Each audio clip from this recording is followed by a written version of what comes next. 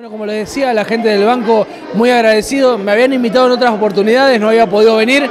Esta es mi primera vez acá. Bueno, eh, un aprecio personal muy grande a la gente del banco por el, por el trabajo que realizan y por la función eh, que tiene en la sociedad San Rafaelina, único banco cooperativo, en, estos momentos donde, donde se habla mucho de especulación, de capital financiero, tener unos un referentes de la, de la banca cooperativa como es el Credicop, verdaderamente es, fundamental para, para San Rafael. Yo actualmente tengo 38 años, empecé a los 18 y afortunadamente vengo trabajando siempre, primero en Buenos Aires y hace 11 años, 12 años que vivo acá en San Rafael, eh, trabajando tanto para la MUNI como, como para medios privados. Me ha tocado trabajar en, Diario San Rafael, en LB4, bueno, y también ahora, ahora en el municipio. Sí, también en, tiempos de hobby eh, me, dedico un poco a escribir, a hacer algo de literatura vinculada más que nada al mundo del fútbol. En lo personal estoy desde el 2013 involucrado en la sección deportiva de Diario San Rafael y el año pasado tuve la, primera experiencia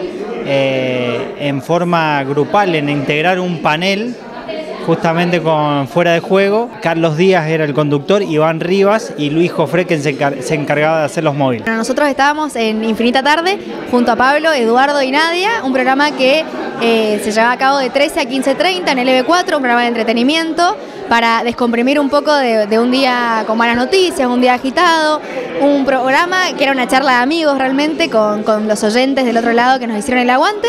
Eh, así que bueno, un gran, un gran honor, muy, muy bien, muy contenta realmente, no, no lo esperaba sinceramente. Y bueno, siendo tan joven, una invitación tan importante como es la del Banco Credit Cop, me ha hecho sentir muy feliz y muy contenta, así que muy orgullosa. Bueno, y también eh, es un placer estar acá. Agradecemos a toda la gente que organiza esto y, también un gusto, un gusto porque, porque no todos los días se da esto. Así que gracias, gracias a toda la gente que, que está detrás.